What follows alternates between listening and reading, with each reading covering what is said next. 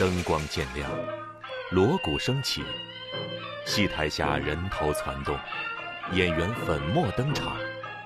这是天津广东会馆戏楼每周都会上演的大戏。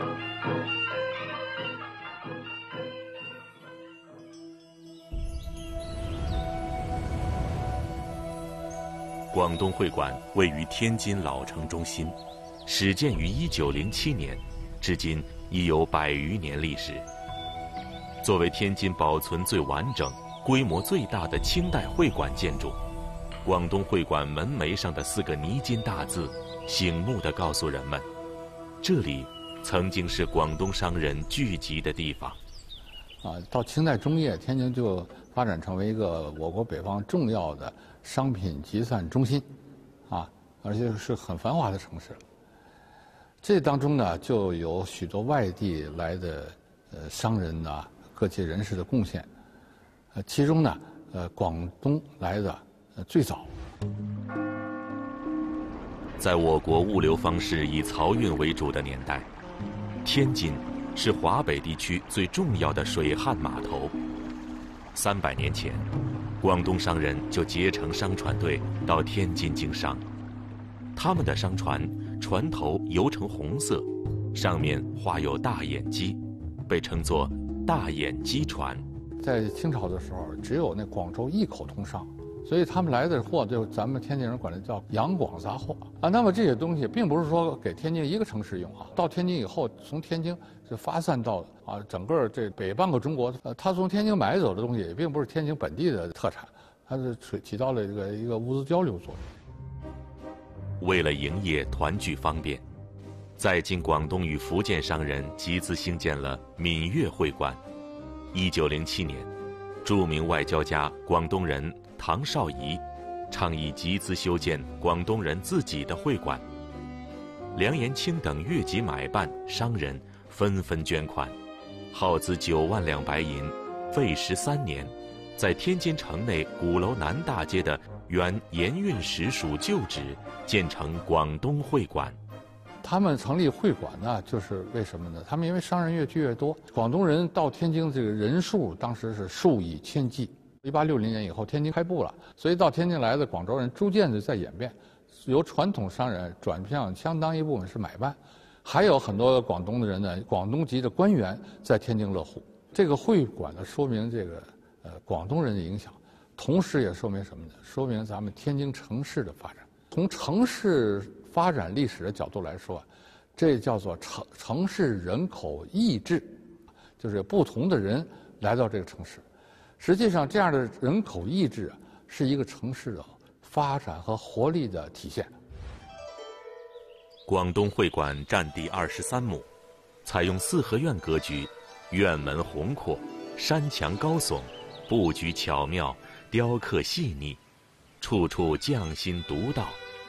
不仅在建筑工艺上承袭了岭南地区的风格，就连砖瓦木料也大多是从广东运进，这足见当时广东商人在天津的实力，以及他们建造同乡会馆的巨大热情。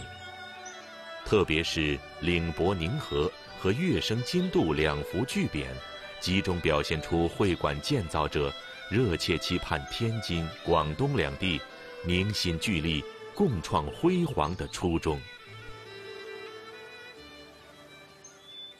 戏楼是广东会馆的主体建筑，能容纳六七百人，全部采用木结构形式。观众席间不设一根殿堂金柱，重达十吨的戏台顶子也不用脚柱支撑，这样，观众在观看演出时视线不受任何阻碍。实际上，传统的戏台在这两个垂帘的位置应该是下来两个整个的柱子。那么广东会馆它把这两颗柱子大胆的去掉了，并且呢用上面的巨大的梁和檩子，它把这个整个的这个藻井的系统给悬挂了起来，很好的既处理了结构的问题，然后又使得它整个的视线非常的通畅。这可以说是广东会馆在清晚期这种演艺建筑里面的一个非常大的创新。胶木如井，画以藻纹。舞台顶部由上千块异形斗拱组合而成圆形藻井，不用扩音器，就可以把舞台上的声音传递到每一个角落。这个藻井就是指的是舞台上方这个绿色的这个部分。实际上，这个有一个外号，因为它的形状就螺旋形上升的，有点像个菠萝，所以我们也管它叫做菠萝藻井。因为它的这种特殊的结构构造，使得演员在底下演出的时候，它的声音会有一种聚音拢音的效果。所以说，这种藻井实际上是一种呃中国古代对于声音处理的一种非常智慧的方法吧。广东会馆落成后。著名表演艺术家梅兰芳、杨小楼等人都曾在这座规模宏大的戏楼演出。除了上演乐声金韵，广东会馆也成为天津主要集会场所之一，见证了许多重大历史事件。一九一二年八月，孙中山北上抵京，曾在这里发表了“我中国四万万同胞同心协力”。河南称雄世界的演说。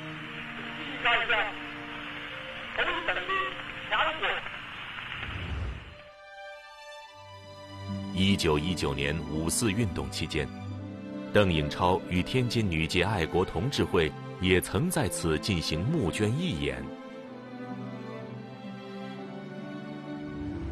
历经百年风霜，如今，在这座清代会馆建筑里。人们依然能够感受到岭南建筑的特有精美欣赏到黄钟大吕的绕梁余音。